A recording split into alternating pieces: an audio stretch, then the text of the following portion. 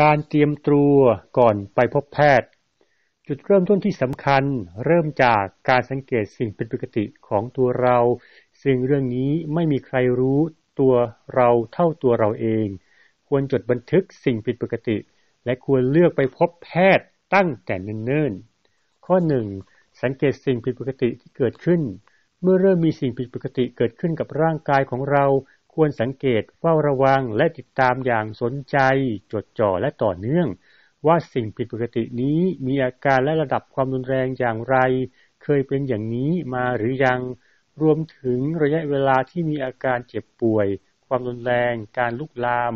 ตำแหน่งที่เป็นอวัยวะที่รู้สึกและอื่น ๆ ข้อที่สองไม่มีใครรู้จักสุขภาพร่างกายของคุณได้ดีเท่ากับตัวคุณเอง ไม่ว่าสิ่งผิดปกติจะเป็นด้านจิตใจร่างกายหรือความนึกคิดของคุณ คนที่จะรู้ดีที่สุดก็คือตัวของคุณเอง คนที่เป็นเจ้าของร่างกายอันนี้ ไม่ว่าจะเกิดสิ่งดีสิ่งร้าย โรคภัยไข้เจ็บอะไรขึ้น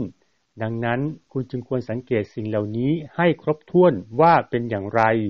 เป็นที่ไหน เป็นมากนานเพียงใด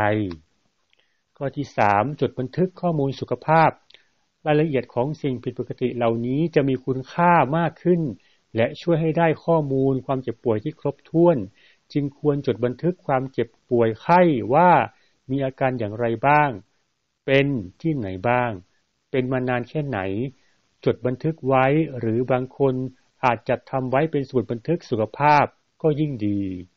ข้อที่ 4 รู้แต่เนิ่นๆ ยังเป็นน้อยรักษาได้ง่าย การสังเกตและไม่นิ่งนอนใจเป็นในสิ่งผิดปกติต่างๆ เหล่านี้เป็นสิ่งที่ดี เพราะถ้ารู้ตัวแต่เนิ่นๆ ในขณะที่ยังมีอาการน้อย และความรุนแรงของโรคไม่มาก โดยทั่วไปก็จะทำการรักษาให้หายได้โดยง่าย ไม่ยุ่งยากไม่เสียเวลาและไม่สิ้นเปลืองค่าใช้จ่าย ข้อที่ 5 เตรียมข้อคำถามที่อยากรู้ นอกจากนี้อาจซักซ้อมเตรียมคำถามที่เกี่ยวข้องกับการเจ็บป่วยที่ต้องการทราบคำตอบจากแพทย์ เช่นโรคที่เป็นระดับความรุนแรงของโรค เป้าหมายของการรักษา ยาและการใช้ยาเป็นต้น เพราะจะได้ถามแพทย์ในช่วงนาทีทองของคุณ